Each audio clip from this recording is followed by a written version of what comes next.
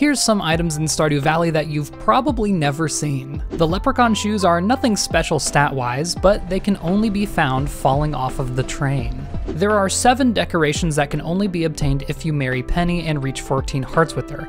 Even then, you're only allowed to choose one of the three themes, so you can never have all of them. The tea set can only be obtained during the Feast of the Winter Star, and only certain characters will give it as their gift. And doing all of the math, you have about a 6% chance to get it each year. There's several weapons that were only added into the game in version 1.5, and you can only find them if you choose to remix the mine rewards when creating your farm. Then they'll have a chance of being your reward in the chests in certain floors of the mines.